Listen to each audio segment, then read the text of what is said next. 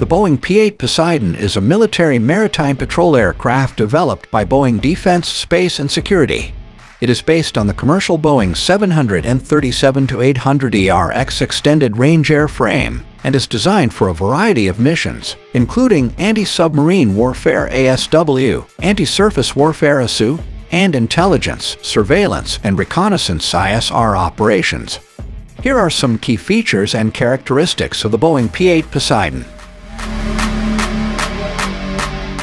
The P-8 Poseidon is based on the Boeing 737-800ERX, which is a commercial airline variant known for its fuel efficiency and reliability. The military adaptation includes structural and equipment modifications to meet the requirements of a maritime patrol aircraft.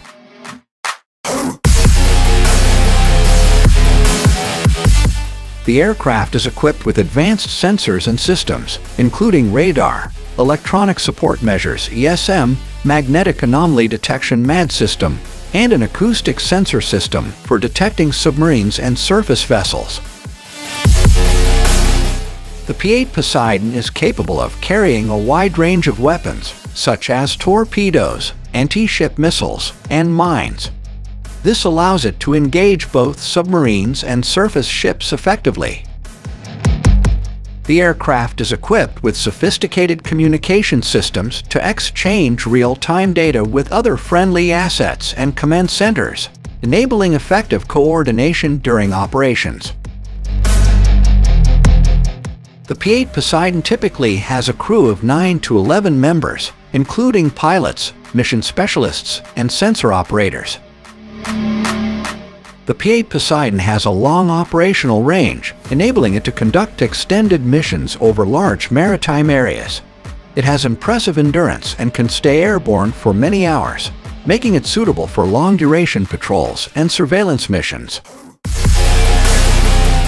Besides its primary roles in ASW, ASU, and ISR, the P-8 Poseidon can also be used for search and rescue SAR missions and maritime intelligence gathering.